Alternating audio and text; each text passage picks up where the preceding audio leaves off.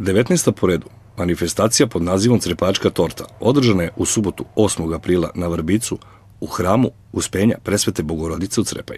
Organizator ove manifestacije je Udruženje žena Vidovdan iz Crepaje, ispred kojeg smo razgovarali sa Jasminom i Sajlom. Ima puno dece, zadovoljni smo i dobro je što nije došla kiša i što možemo to da obavimo sve kako treba. Koliko je torti danas na vašem stolu? 18. Kao i svake godine daćemo u humanitarne svrhe e, deci sa posebnim potrebama najpre i deci koja su socijalno ugružena. Koliko torti će otići u humanitarne svrhe? Pa ja mislim 12.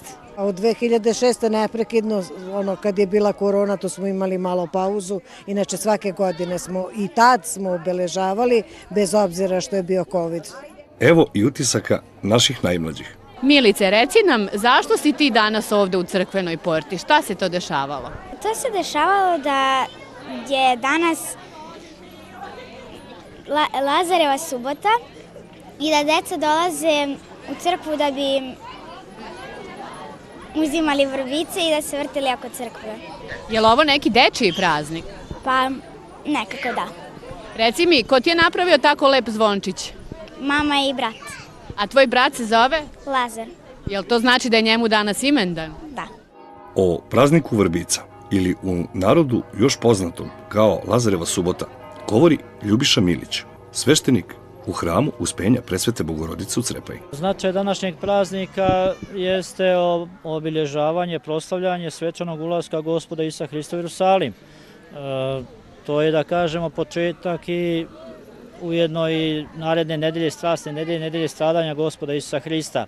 Danas je zaista radostan praznik jer znači, kada je gospod Isus Hristos na Lazarevu subotu je za nas vazgrsao prijatelja svoga u Vitani, četvodnevnog Lazara, to se pročulo.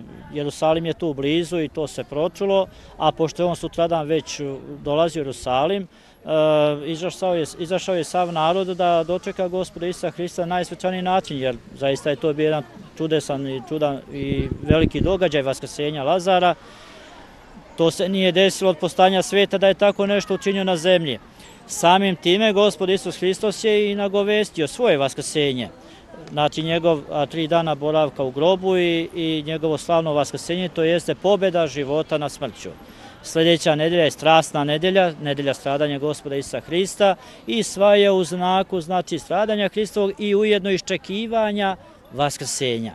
Znate, svi ka tome težimo i zaista je to nešto što ovaj treba na jedan, da kažemo, lep, eh, skroman način, duhovan, da, da dočekamo, eh, da se pripremamo za to kroz ovu nedelju stradanja gospoda Isa Hrista, da i mi na neki način, kroz recimo post strogi, kroz bogosluženja koja su eh, obimna, koja sva govore o tome, da se i mi malo sa tim praznikom, sa tim stradanjem i događajima gospoda Ista Hrista na neki način doživimo u sebi neku i duhovnu obnovu i da spoznamo malo bolje i šta je ovaj život i koji je smisao ovoga života i zašto dolazi gospod Isus Hristos i zašto strada i znači na kraju slavno vaskrsenje, to jeste pobjeda života nad smrću.